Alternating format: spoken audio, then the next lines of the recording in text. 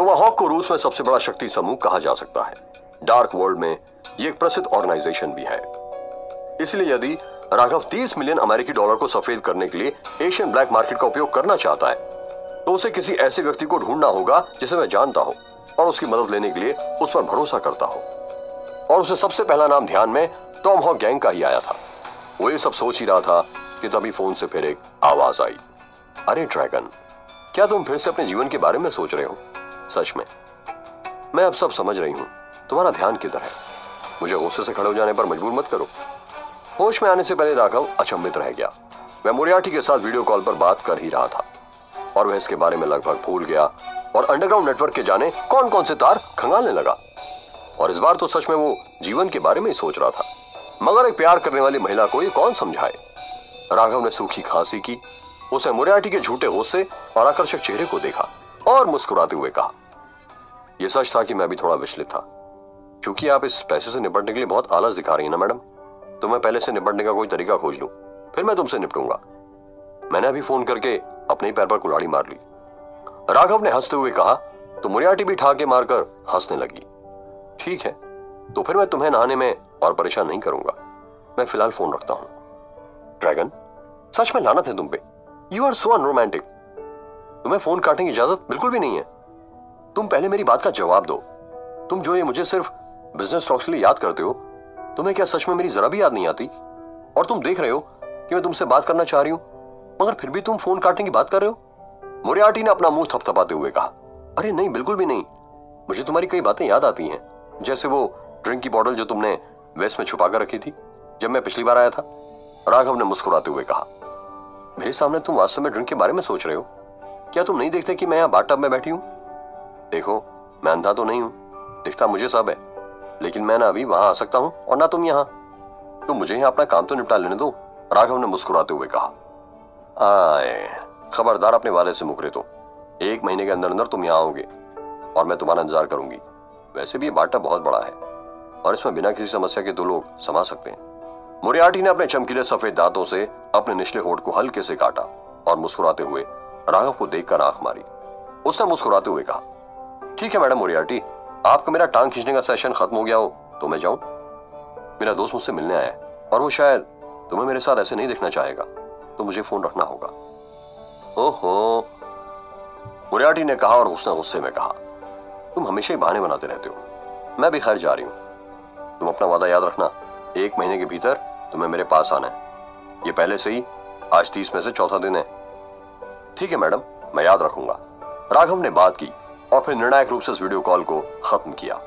मुरियाटी के साथ कॉल खत्म करने के बाद, राघव ने अपने मोबाइल फ़ोन पर कॉन्टैक्ट के माध्यम से छानबीन की और अंत में पोलर बियर के रूप में सेव एक व्यक्ति की कॉन्टैक्ट इन्फॉर्मेशन पाई, जिसे उसने सीधे कॉल लगा दिया। नंबर रशियन था। राघव ने एक इंटरनेशनल लॉन्ग डिस्टेंस कॉल किया। फ़ोन जल्दी से डायल किया गया था और थोड़ी देर बाद एक आदमी की आवाज़ आई, जो रूसी भाषा में बोल रहा था। हेलो कौन? बोला, भैया, ये मैं हूँ ड्रैगन राघव ने अपना मुँह खोला और शांत स्वर में कहा फ़ोन के दूसरे छोर पर सन्नाटा था और फिर सदमे और आश्चर्य की आवाज़ सुनाई दी, जिसे छुपाया नहीं जा सकता था। ड्रैगन ये वास्तव में तुम हो तो तुम अभी ज़िंदा हो। कितने साल हो गए कि हम नहीं मिले। तुम्हारा कॉल आया तो मुझे काफ़ी खुशी हुई। कैसे हो तुम? जब हम पिछली बार मिले थे तो तुम अल्फ़ा स्पेशल फोर्सेस से रिटायर होने वाले थे। अब क्या स्टेटस है? मुझे याद है कि जब तुम रिटायर होने वाले थे तो तुमने मुझसे कहा था कि तुम टोमाहॉक में शामिल होने जा रहे थे। ये लगभग तीन साल पहले की बात है, नहीं? राघव ने मुस्कुराते हुए कहा हाँ मैं अभी टॉम हॉक में ही हूँ। एशिया पैसिफिक साइड के मामलों का प्रभारी हूँ। फ़ोन कॉल के दौरान बोला भी ज़ोर से हंसा और फिर कहा, वैसे तुमने कॉल किया है तो ज़रूर कोई काम होगा। वैसे भी हम वेटरन इतने फालतू नहीं हो सकते। मैं समझ सकता हूँ। तुम्हें मुझसे तो कम से कम फॉर्मेलिटी की ज़रूरत नहीं है। बताओ दोस्त, क्या कर सकता हूँ मैं तुम्हारे लिए? राघव पोला बियर की बात सुनकर मुस्कुराने लगा। तीन साल बाद पोला बियर का व्यक्तित्व बिल्कुल भी नहीं बदला था। उसके पास रूसियों का उत्साह और बोली में खुरदुरापन था, जो अभी जस का तस बना हुआ था। वह हमेशा ही अपने काम के प्रति सजग और डेडिकेटेड रहता था। उसे ज़्यादा इधर उधर की बातें बिल्कुल भी पसंद नहीं थी। पोलर बियर का असली नाम दरअसल ओलैक था, और राघव ने भारत और रूस के बीच एक ज्वाइंट मिलिट्री एक्सरसाइज के ज़रिए उससे मुलाकात की थी। उस समय दोनों देशों ने एक साथ संयुक्त अभ्यास करने के लिए सबसे विशेष विशेष बलों को भेजा। जिसमें भारत की तरफ़ से राघव और रूस की तरफ़ से ओलैक शामिल थे। उस समय जिन कैंपों में दोनों देश के विशेष बल तैनात थे, वे एक दूसरे से बहुत दूर नहीं थे। रात में आराम करते समय दोनों देशों के विशेष बल अनिवार्य रूप से एक साथ इकट्ठा होते और प्रतियोगिताएँ वगैरह होती थीं। ओलेग काफ़ी शक्तिशाली था, जैसा कि उसके उपनाम से देखा जा सकता है। उसके बारे में रूस में कहा जाता था कि वह पोलर बियर को भी अपने नंगे हाथों से मार सकता है। वह बेहद क्रूर है, इसलिए उसके पास ऐसे नाम की उपाधि है। हालाँकि सैन्य अभ्यासों के बीच के अंतराल के दौरान उसने और राघव ने एक फ्रेंडली रेसल मैच किया और करीबी क्वार्टर में लड़े और मुकाबला टक्कर का था। भले ही पोलर बियर विशाल काय था, मगर राघव की चपलता ने भी उसे काफ़ी देर तक जीत से दूर रखा था। ओलग मैच भले जीता था, मगर राघव की ताकत ने उसका सम्मान जीता और इस सत्य के साथ ही बाद में एक्स कैलिबर स्पेशल फोर्सेज और अल्फ़ा स्पेशल फोर्सेज ने भविष्य में ज्वाइंट ऑपरेशन चलाया था, जिससे जो दो लोग आए और साथ किसी मिशन पर गए। वो ओलैग और राघवी थे। साथ मिशन करने के बाद दोनों की दोस्ती काफ़ी ज़्यादा गहरी हो गई। मगर दोनों इतने मेच्योर थे कि एक्सरसाइज के बाद फ़ोन या मैसेज करने की औपचारिकता को उन्होंने अपनी दोस्ती से परे रखा और प्रैक्टिकल जीवन में अपनी दोस्ती को कायम रखा। उस एक ज्वाइंट मिलिट्री एक्सरसाइज ने राघव को रूस के अल्फ़ा स्पेशल फोर्सेज में अपनी दोस्ती बनाने का मौका दिया था, जहाँ उसे एल्बो किल और पोलर बियर जैसे लोग मिले। अभी कुछ तीन साल पहले राघव को अचानक पोलर बियर का फ़ोन आया था। ये कहते हुए कि वह अल्फ़ा स्पेशल फोर्सेज छोड़कर टोमाहो गैंग में शामिल हो जाने वाला है। पोलर बियर ने विभिन्न कारणों का तो कुछ खास उल्लेख नहीं किया, इसलिए राघव के उससे उनके बारे में ज़्यादा कुछ पूछा भी नहीं। आज जब तीन साल बाद राघव ने अपने पुराने दोस्त को जब बिल्कुल भी नहीं बदले हुए देखा तो उसके चेहरे पर एक मुस्कान आ गई। उसने कहा बोलो बियर मुझे वास्तव में तुम्हारी ज़रूरत है। क्या तुम एशियन ब्लैक मार्केट में मेरी कुछ मदद कर सकते हो? राघव ने पूछा। बिल्कुल। एशियन ब्लैक मार्केट में तो मेरे लिए बाएँ हाथ का खेल है। तुम बस बोलो और काम हो जाएगा। मगर मामला है क्या? या एशियन ब्लैक मार्केट में ऐसा कुछ है? इसका होना तुम्हें पसंद नहीं आया? तुम कहो अभी हटवा दू।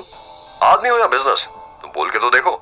ओलेग ने कहा, उसकी आवाज़ में इतना दम था कि मोबाइल फ़ोन के माध्यम से भी वह अपने खूनी जानलेवा इरादे को महसूस करवा सकता था। राघव हंस पड़ा और कहा, नहीं नहीं, ऐसा कुछ भी नहीं है। दरअसल मेरे पास यहाँ म्यांमार में तीस मिलियन अमेरिकी डॉलर हैं और मुझे उन्हें एशियन ब्लैक मार्केट में किसी बैंक के माध्यम से इंडियन रुपी में ट्रांसफ़र करने की आवश्यकता है। और फिर इसे मेरे खाते में जमा करना है। आपको क्या ये काफ़ी मुश्किल होगा?